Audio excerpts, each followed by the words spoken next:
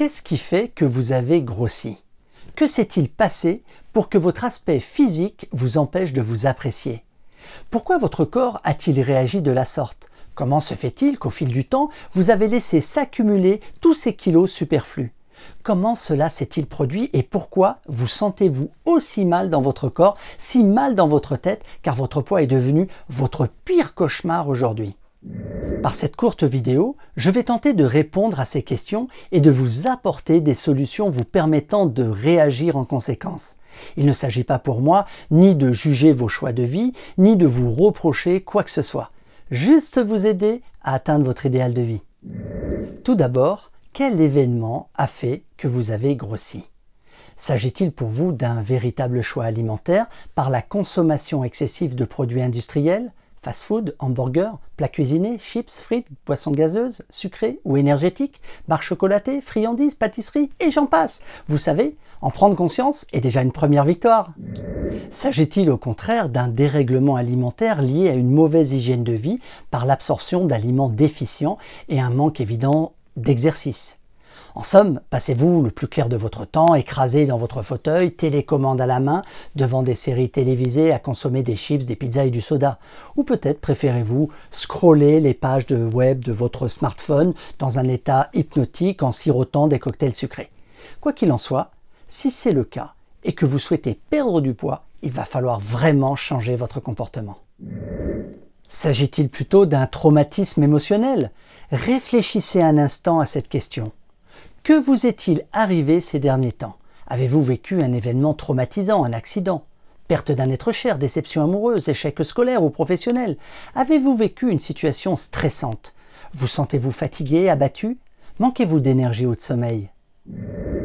Voyez-vous, la prise de poids a des causes multiples et chaque individu, femme ou homme, qui ont subi les conséquences réagissent de manière différente.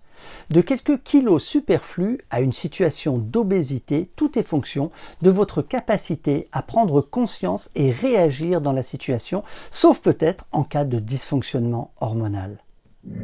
Néanmoins, quelle qu'en soit la raison, vous n'êtes pas sans savoir que lorsque l'on souffre de problèmes de poids, le regard des autres peut être parfois blessant et douloureux.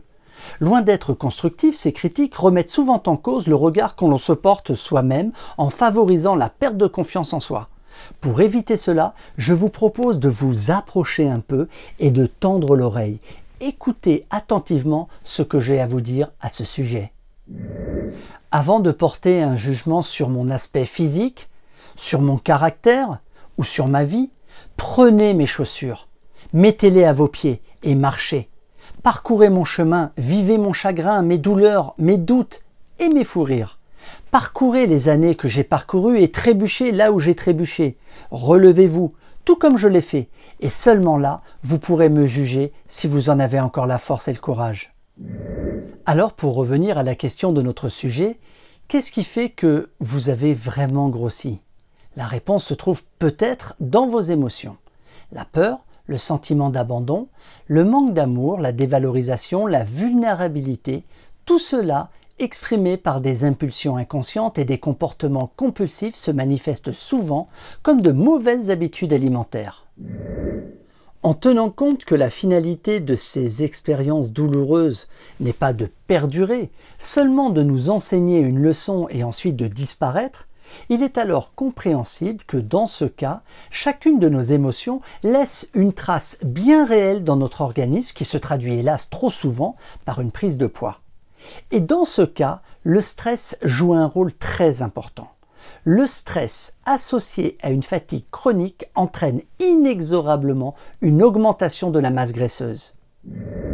Quand l'hormone du stress, le cortisol, atteint son plus haut niveau, elle augmente le stockage de la graisse au niveau de l'estomac, les adipocytes, cellules qui stockent le gras, situées à cet endroit, possèdent davantage de récepteurs pour le cortisol que les cellules se trouvant à des niveaux superficiels du corps. Le cortisol modifie alors le stockage du sucre, de l'eau et réduit la masse musculaire. Il favorise donc le stockage des graisses au niveau abdominal, augmente notre appétit et oriente nos choix alimentaires vers des produits plus gras et plus sucrés.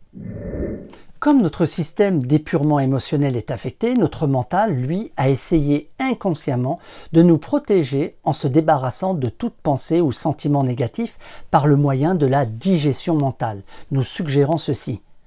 Puisque je ne peux pas traiter ma tristesse, peut-être puis-je la manger. Comme je n'arrive pas à exprimer ma colère, peut-être devrais-je la dévorer. Et puis si je suis capable d'engloutir toutes ces émotions, peut-être pourrais-je trouver un moment de paix, même si celles-ci sont difficiles à avaler.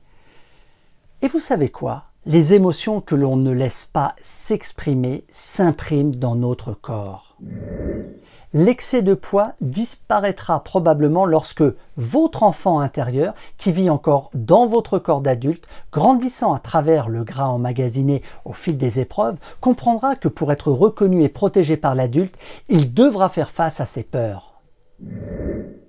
La peur enfantine appartient au passé et aujourd'hui il est grand temps de s'en débarrasser. Alors cet enfant intérieur arrêtera de grandir sous forme de graisse. Sachez que la graisse est une résultante physique de votre besoin de prendre de la distance avec les autres. Cette graisse est un rempart, une armure, un costume pour se protéger, une barrière physique que vous avez créée par un comportement inapproprié. Jour après jour, vous vous êtes emmuré jusqu'à renoncer à tous vos rêves. Aussi, je vous propose d'abattre ce mur, de vous débarrasser de chacune de ces briques qui ont un nom. Honte, rage, peur, rancœur, injustice, séparation, épuisement, stress, agressivité, colère, impatience. Il est grand temps d'en finir avec ces mots. Chaque gramme de graisse qui recouvre votre être a pénétré votre subconscient avant de s'accumuler dans votre corps. Lorsque le poids de vos émotions disparaîtra de votre esprit, il abandonnera systématiquement votre corps. Comprenez que la prise de poids n'est pas toujours due à un excès de nourriture. Et même si c'est le cas, posez-vous la question suivante. Qu'est-ce qui fait que je grossis aujourd'hui?